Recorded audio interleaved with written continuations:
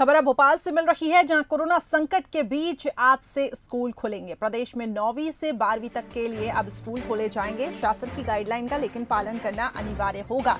Containment zone के बाहर के स्कूल, आपको बता दें, पेरेंट्स से लिखित में अनुमति यहाँ पे चाहिए रहेगी। स्कूलों को सैनिटाइज कराना बहुत ज़रूरी होगा। स्कूलों में प्रार्थनाएँ, खेलकूद और जो बाकी कार्यक्रम है, वो नहीं होंगे।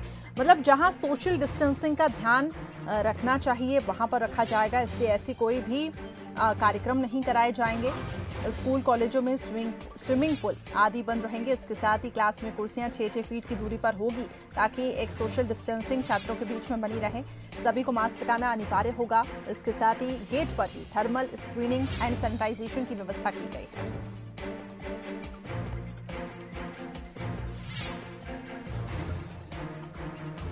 चलिए, ज़्यादा हम अपडेट ले लेते हैं। भोपाल से हमारे संवाददाता वासु चौरे जुड़ चुके हैं, साथ ही ग्वालियर से प्रहलाद सेन हमारे साथ जुड़ चुके हैं, क्योंकि अब स्कूल खुलने वाले हैं। ऐसे में चुनौती स्कूल शिक्षा विभाग के ऊपर भी है कि किस तरीके से इंतज़ाम यहाँ पे किए जाते हैं। सबसे पहले भोपाल की रुख करते हैं। वासु, क्या अपडेट है? स्कूल खोले जा रहे हैं नौवीं से बारहवीं तक के छात्रों के लिए, लेकिन किस प्रकार की व्यवस्थाएँ देखने को मिल सकती है? निश्चित तौर पर चुनौतीपूर्ण रहेगा। स्कूल शिक्षा विभाग के ऊपर भी, स्कूल प्रबंधन के ऊपर भी कि आखिर कैसे मैनेजमेंट होता है? साथ ही ये भी देखना होगा कि छात्र किस तरीके से सोशल डिस्टेंसिंग का पालन करते हैं।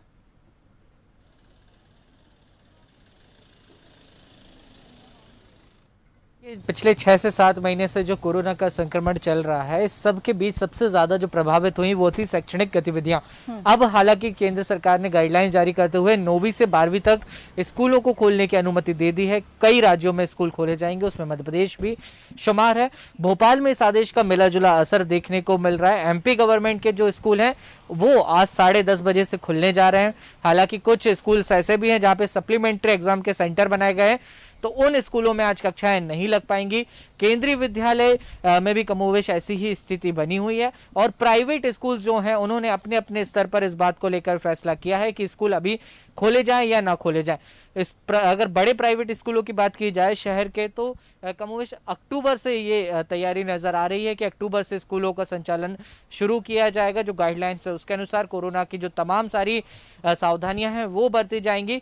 हालाँकि करिश्मा, इस सब के बीच शैक्षणिक गतिविधियाँ प्रभावित ना हो इसलिए इन तमाम स्कूलों ने चाहे प्राइवेट हो या गवर्नमेंट हो ऑनलाइन एजुकेशन की व्यवस्था की थी। आप देख सकती हैं मेरे पीछे जो स्कूल है यहाँ पर फ़िलहाल सन्नाटा पसरा हुआ नज़र आ रहा है क्योंकि जो गाइडलाइन आई है उसके अनुसार भी सिर्फ़ पचास फ़ीसदी टीचिंग और सपोर्टिंग स्टाफ के साथ ही स्कूल हम्म। खुलने की बात कही गई है जहाँ भीड़ भाड़ रहती थी स्कूलों में वहाँ भी सन्नाटा पसरा हुआ है। यहाँ पे कोई भी विद्यार्थी आते हुए फ़िलहाल नज़र नहीं आ रहे हैं। अमूमन जो नौवीं से बारहवीं तक की कक्षाएँ होती हैं उनके लिए स्कूल सुबह सात या आठ बजे से शुरू हो जाता है लेकिन अब करीब दस बजे तक भी कोई विद्यार्थी नज़र नहीं आ रहे हैं। तो कई स्कूलों ने अपने स्तर पर यह भी फैसला लिया है कि फ़िलहाल जो क्लासेस का संचालन है उसे हम्म। शुरू ना किया जाए क्योंकि कोरोना का जो संक्रमण काल है वो अभी भी जारी है। ऐसे में सबसे पहले ये सुनिश्चित करना बेहद आवश्यक होता है करिश्मा की बच्चों की विद्यार्थियों की सेहत के साथ किसी तरह से कोई खिलवाड़ ना हो कोई दिक्कत परेशानी की स्थिति ना बने क्योंकि भोपाल में रोज़ाना अगर ट्रेंड देखा जाए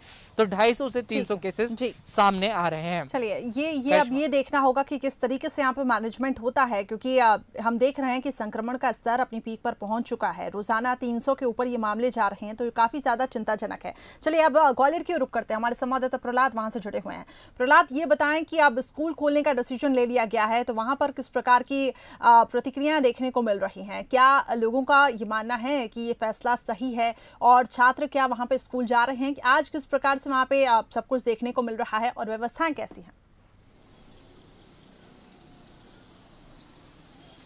करिश्मा, देखिए, जिस तरीके से निर्णय लिया गया है कि स्कूल को खोल दिया जाए नौवीं से बारहवीं क्लास के बच्चों को स्कूल आने की अनुमति मिली है। लेकिन हम देख रहे हैं कि अभिभावक भी चिंतित हैं और स्कूल प्रबंधन भी चिंतित हैं। हम्म। यहाँ हम एक स्कूल के बाहर हैं जहाँ जो स्कूल प्रबंधन उनसे बात करने की कोशिश करते हैं कि किस तरीके के एहतियात बरतेंगे और पेरेंट्स का क्या मानना है क्या अभी स्कूल खुलना चाहिए? तो क्योंकि ग्वालियर जिस तरीके से लगातार 200 से अधिक पेशेंट मिल रहे हैं तो क्या ऐसे में बच्चों का आना उचित है स्कूल में? सर बच्चों का आना तो उचित नहीं है, लेकिन अभी क्या है कि कोविड को देखते हुए अभी तो हम स्कूल नहीं खोल रहे हैं, लेकिन जो नाइन्थ का सीबीएसई रजिस्ट्रेशन होना है, इसलिए हमने बच्चों को यानी सेक्शन वाइज बुलाया है। तो ऐसे कोई भीड़ भी नहीं है, सारे अंदर यानी सब कुछ है, सारी सुविधाएँ हैं, ऐसा नहीं सैनिटाइज भी कर रहे हैं, सब देख के ही हम बच्चों को बुलाया पेरेंट्स को भी बुलाया है। पेरेंट्स की यानी रजामंदी से वो आ रहे हैं बच्चों को लेके। यानी पेरेंट्स की रजामंदी के बाद ही हाँ उसी के बाद हम लोग है ना डिसीज़न लिया है। अब पेरेंट्स अगर बच्चों को लेके आ रहे हैं तो ही ये रजिस्ट्रेशन हो रहा है। अदरवाइज़ फिर नहीं कर रहे हैं। बिल्कुल यहाँ पे पेरेंट्स की रजामंदी बहुत आवश्यक है। हमारे साथ कुछ पेरेंट्स में भी हैं उनसे बात करेंगे कि ग्वालियर जिस तरीके से अभी जो हालात बने हुए हैं तो क्या आप अपने बच्चों को स्कूल भेजेंगे अभी? फ़िलहाल तो अभी नहीं भेजेंगे। ना ही स्कूल प्रबंधन ने कुछ कहा है ऐसा। सर रजिस्ट्रेशन के लिए आज बुलाया था। तो मुश्किल से काफ़ी डिस्टेंस के साथ में रजिस्ट्रेशन हो रहा है ऐसी कोई प्रॉब्लम नहीं है। लेकिन स्कूल नहीं खुलेंगे अभी। अभी क्या मानते हैं जो डिसीज़न है जो अ, सरकार का उसे क्या मानते हैं गलत डिसीज़न है बिल्कुल। अभी ऐसा माहौल नहीं है कि ग्वालियर में स्कूल खोले जाएँ। जिन्हें स्कूल आना है उनसे बात कर लेते हैं। बिटिया क्या लगता है डर लगता है अभी स्कूल आने में जो ऑर्डर हुए हैं उसको लेकर क्या मानती हैं आप? हाँ लगता है थोड़ा थोड़ा क्योंकि बहुत ज़्यादा फैल रहा है ये। तो अभी स्कूल आने की इच्छा होती है अंदर से? मीन्स थोड़ी थोड़ी होती है लेकिन फिर जाना होता है। मन करता है जाने का। बिल्कुल करिश्मा जिस तरीके से ग्वालियर के हालात है रोज़ाना 200 से अधिक पेशेंट यहाँ पर मिल रहे हैं। चलिए, हम समझ सकते हैं कि एक तरफ़ एजुकेशन है जो काफ़ी ज़्यादा प्रभावित हो रही है। स्टूडेंट्स चाहते हैं कि स्कूल में जाके वो पढ़ाई करें, लेकिन समय ऐसा है और समय की जिस तरीके से हम देख रहे हैं कि यही मांग है कि थोड़ा सा अभी फ़िलहाल यहाँ पे रुकना चाहिए। हालाँकि ये फैसला तो ले लिया गया है, लेकिन अब पूरा डिपेंड करता है पेरेंट्स के ऊपर। अगर वो परमिशन देते हैं और लिखित में अगर अनुमति देते हैं कि ठीक है, वो बच्चों को भेजने के लिए राज़ी हैं तो ही बच्चे स्कूल जा सकेंगे। बहुत बहुत शुक्रिया आप दोनों का हमारे साथ जुड़ने के लिए।